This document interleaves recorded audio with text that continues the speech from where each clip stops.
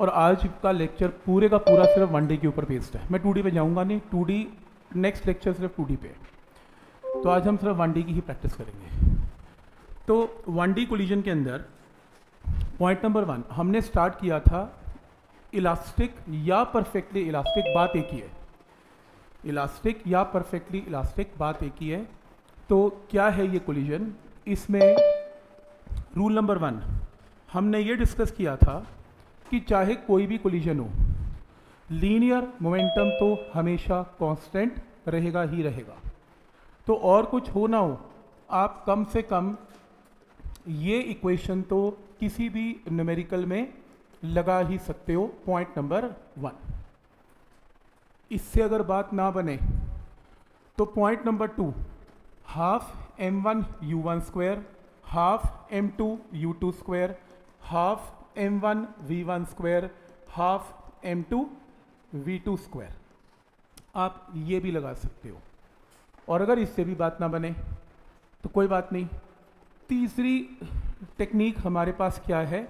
हम V1 and V2 के, वो जो दो बड़े बड़े फॉर्मूलाज था, उससे अपना न्यूमेरिकल सॉल्व कर सकते हैं। क्योंकि वो जो दो फॉर्मूलाज थे V1 V2 वो इन दोनों को सॉल्व करके ही बनाए गए थे। तो या तो आप ये यूज़ कर लो। अगर नहीं करना तो V1 V2 के फॉर्मूला यूज़ कर लो। ठीक है? तो चार तरीके हैं, पांचवा तरीका। जिन क्वेश्चन में इलास्टिक कोलिजन है, पर मासेस गायब है मास नहीं गिवन तो आखिरी तरीका है रेस्टिट्यूशन तो उसमें फिर तुम ई e का फॉर्मूला यूज़ कर लो। V2 two minus v one u one minus u two और परफेक्टली इलास्टिक कोलिजन में ई e को क्या पुट कर दो? वन बस. और कोई तरीका नहीं है। हाँ अगर एनर्जी ट्रांसफ़र निकालनी है तो एक बॉडी ने दूसरी बॉडी को कितनी एनर्जी ट्रांसफ़र की? प्रोवाइडेड दूसरी बॉडी रेस्ट पे है।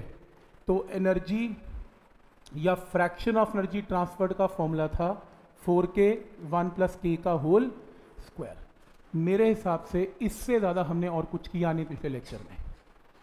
तो कोई भी नोमेरिकल इन टेक्निक से सॉल्व हो सकता है। ज़्यादातर काम आने वाली टेक्निक एक तो ये है और एक ये है।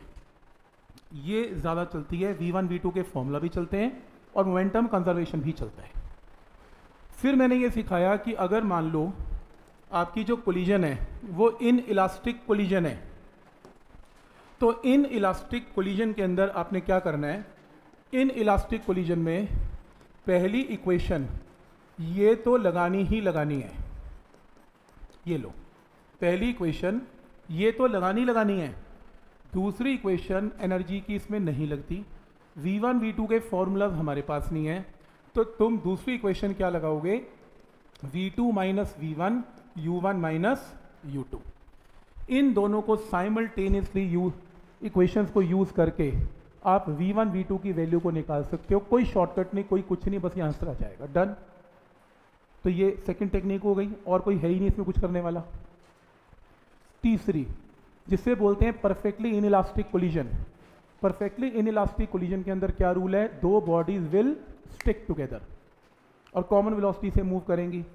तो जब भी stick together and common velocity से मूवमेंट होगी तो जैसे सेकेंड बॉडी किस पे पड़ी हुई है? एट रेस्ट तो ये कंबाइन होके will move with a common velocity पहला तरीका इसमें सिर्फ़ और सिर्फ़ मोमेंटम कंजर्वेशन ही है और कुछ नहीं है। तो इसमें लगेगा momentum conservation M one U one plus zero is equal to M one plus M two into V C यहाँ से वी सी निकाल लेना आंसर क्या ये मेथड सबको समझ में आ रहा है? और मेरे पास कुछ नहीं है बताने के लिए। आज का पूरा लेक्चर सिर्फ़ इसके ऊपर बेस्ड है। बस और कुछ नहीं है। तो क्या स्टेप यहाँ तक क्लियर है? कोई डाउट इसमें?